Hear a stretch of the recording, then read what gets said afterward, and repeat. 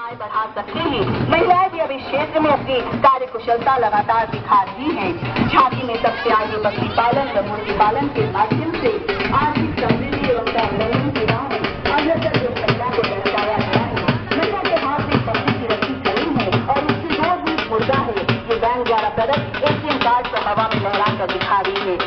के मुख्य में ग्रामीण महिलाओं द्वारा लघु रूप में मुर्गी पालन एवं बकरी पालन अपनाने के जीवन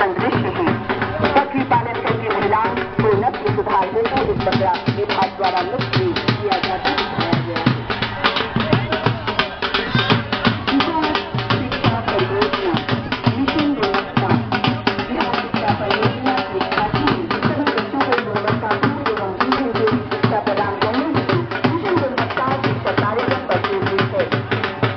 के को के आवश्यकता वाले बच्चों को गुणवत्तापूर्ण शिक्षा प्राप्त करने हेतु विद्यालय जाते देखा जा सकता है। वही